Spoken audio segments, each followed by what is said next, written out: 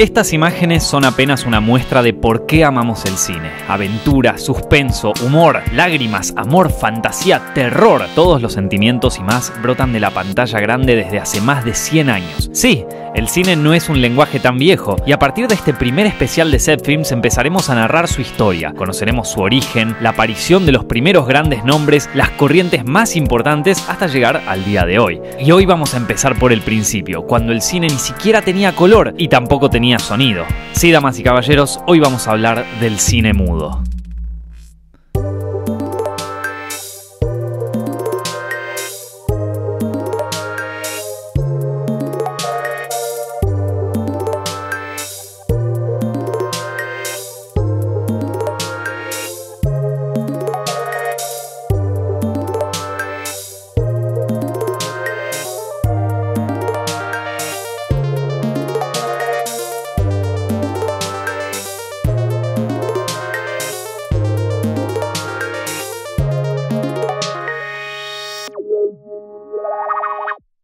Obsesión por la imagen en movimiento viene desde siempre y con desde siempre nos referimos a la prehistoria. En las famosas cuevas de Altamira en España, entre otras pinturas rupestres, figura el dibujo de un jabalí de ocho patas. No era un ser monstruoso que habían inventado. El anónimo y primitivo ilustrador había querido recrear a la bestia en acción. Jamás imaginó que con esto se convertiría en el primer animador de toda la historia. Sí, podríamos decir que fue un pionero del cine. Más adelante, los egipcios, los griegos y los romanos también mostraron su preocupación por capturar a través de dibujos sucesivos la idea del movimiento. En Asia aparecieron las sombras chinescas que consistían en juegos de sombras sobre una superficie blanca, iluminadas por luz ubicada a espaldas de la gente. A su vez, las sombras chinescas inspiraron en el siglo XVII la creación de la linterna mágica. Este aparato óptico consistía en una caja que tomaba imágenes del exterior y las proyectaba en su interior para luego funcionar a la inversa. Pero la época decisiva para el surgimiento del cine fue en el siglo XIX. En Gran Bretaña ya estaba en marcha la revolución industrial desde el siglo anterior, lo que trajo un gran número de avances tecnológicos como la electricidad y la locomotora a vapor, avances que modificaron para siempre aquella parte del mundo y luego a Europa en su totalidad, ya que se estableció la producción en serie, el desarrollo del capitalismo, la migración del campo a la ciudad y la independencia económica. Las innovaciones estaban a la orden del día.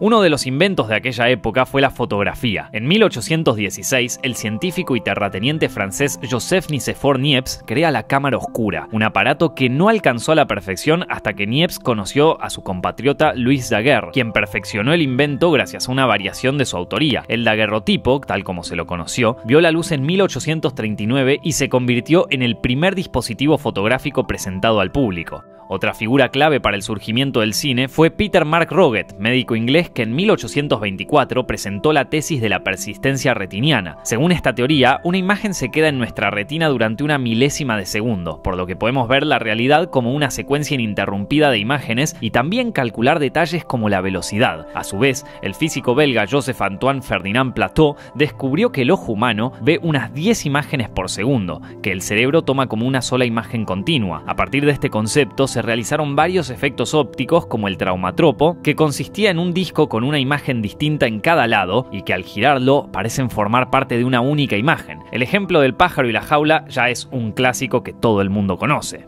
Promediando el siglo XIX apareció uno de los primeros nombres fuertes en el nacimiento del cine, Thomas Alva Edison. Para 1891, Edison ya era un reputado inventor gracias al fonógrafo y la lámpara. Con su ayudante William S. Lorry Dixon, creó y patentó el kinetoscopio, un aparato que capturaba imágenes en movimiento y las plasmaba en una cinta Eastman perforada. Edison se había inspirado en el sopraxiscopio, creado en 1879 por Edward Muybridge, quien había recurrido a él para desarrollarlo y sumarle el registro de sonido. Edison se apropió del concepto y junto a Dixon hizo su propio camino. No logró agregarle la grabación de sonido al kinetoscopio, pero marcó un precedente al crear en 1893 el primer estudio bautizado Black Maria.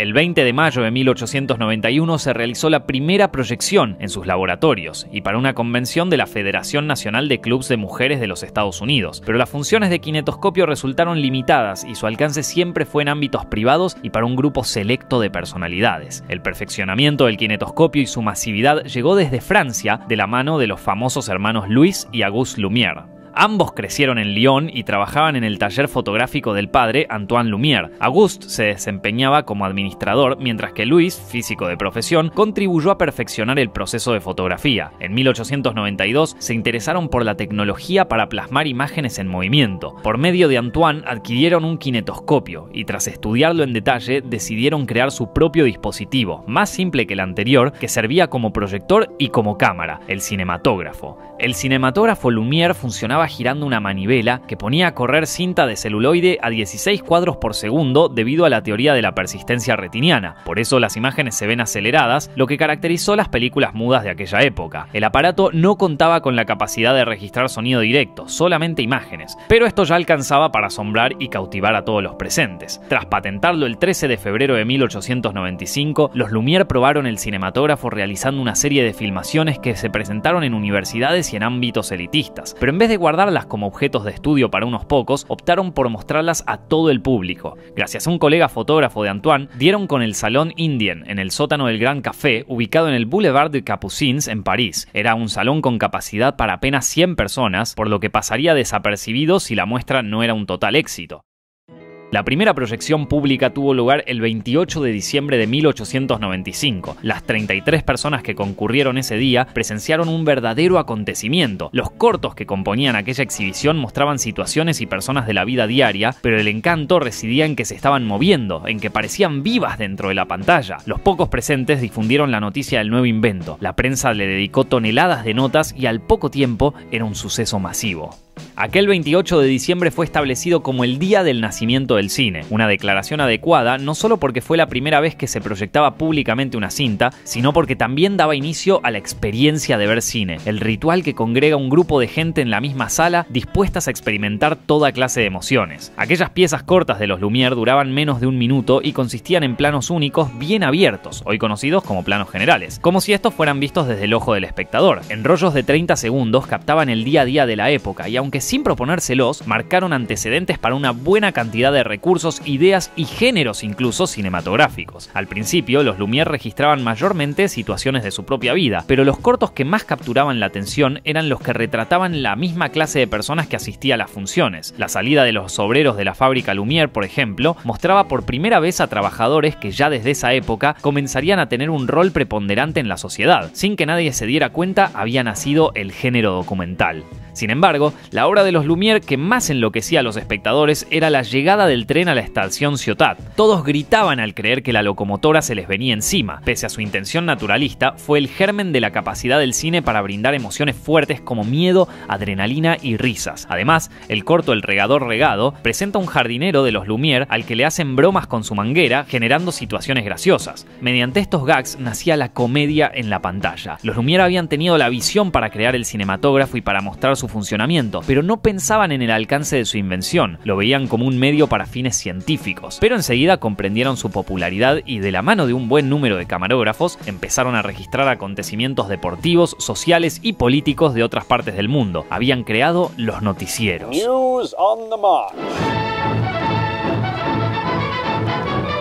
El cinematógrafo había marcado una revolución que se extendió a proyecciones en las principales capitales europeas y pasó a formar parte de los entretenimientos de ferias, pero uno de los pocos afortunados que estuvo en la mítica función del 28 de diciembre fue el responsable de llevar este nuevo invento a otro nivel. Estamos hablando del mítico Georges Méliès. Nacido en 1861, Méliès era el hijo de un acaudalado zapatero, pero desde chico mostró interés por el arte. Comenzó dibujando y también se interesó por el teatro. Un viaje a Inglaterra también lo acercó al ilusionismo. Luego volvió a París para trabajar en la empresa de la familia, aunque su desempeño con las máquinas le serviría para el futuro. Cuando su padre murió, decidió no seguir con la compañía. Vendió su parte y compró el teatro Robert Houdin. Allí montó sus espectáculos que combinaban magia y actuación con escenografías y artilugios fabricados por él mismo. En paralelo, trabajaba como periodista e ilustrador. Podríamos decir que era un hombre bastante inquieto. Tras quedar maravillado con aquellas primeras proyecciones, el denominado mago de Montreux quiso adquirir un cinematógrafo, lo que le fue negado por los Lumière con la explicación de que a la larga dejaría de ser un negocio rentable. De hecho, ambos pronto desaparecieron del ámbito cinematográfico, pero sin darse por vencido, Méliès consiguió una versión del kinetoscopio por el lado del electricista inglés Robert Paul y comenzó a hacer sus propias filmaciones. Al principio se asemejaban a los registros naturalistas de sus colegas franceses franceses y de otros precursores, pero en un momento hizo un descubrimiento. Durante un rodaje que tenía en la Plaza de la Ópera, la cámara se atascó y debió arreglarla en el acto para que volviera a funcionar. Cuando vio el material filmado, notó que una toma con hombres saltaba a otra con mujeres y que un autobús se transformaba de golpe en un vehículo fúnebre. De casualidad, Méliès había descubierto la que sería una herramienta fundamental del cine, los efectos especiales, el corte y, por qué no, el montaje. De esta manera, decidió experimentar por ese lado y usó sus hallazgos para crear mágicas obras de ficción. A lo largo de cortos cada vez más ambiciosos, Méliès innovaba con trucos de cámara que funcionaban como extensión de su oficio como mago. Para ser más exactos, Méliès inventó el fundido a negro, el fundido encadenado, la sobreimpresión y la ilusión de objetos que se mueven solos y personas que se transforman en otras o en seres de fantasía. También construyó decorados, supervisó vestuarios y se encargó de la continuidad narrativa, ya que le interesaba contar historias y no quedarse en trucos asombrosos. Los cortos de Méliès incluían criaturas mágicas,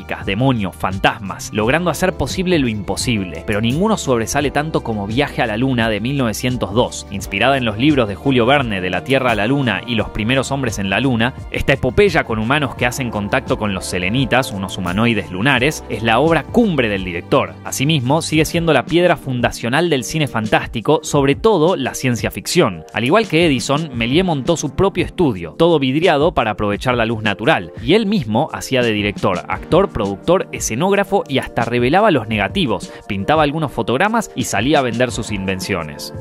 Méliès rodó alrededor de 500 cortos, pero solo se conserva una décima parte. La llegada de la Primera Guerra Mundial en 1914 fue uno de los motivos por los que su negocio terminó en la ruina. Retirado y olvidado por sus padres y por el público, se dedicó a atender una juguetería en la estación ferroviaria de Montparnasse. Fue redescubierto en 1925 y pudo vivir sus últimos días gozando del reconocimiento y el respeto que merecía.